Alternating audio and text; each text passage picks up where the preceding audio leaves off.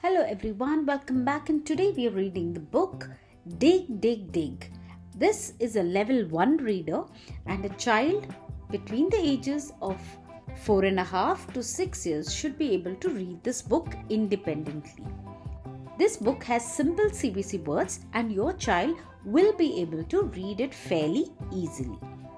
Check out for the link in the description box to buy this book. Dig, dig, dig. Tim and his dog had fun. Dig, dig, dig. Tim dug up a lot of mud.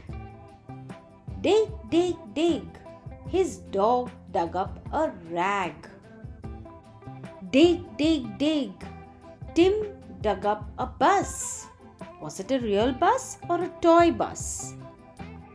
Dig, dig, dig. A lid. Dig, dig, dig. A big tin. And in it, look at the picture. What is Tim thinking is there in the box? What is his dog thinking is there in the box? Lots of bugs. Do you think Tim and his dog are disappointed? I'm sure they are.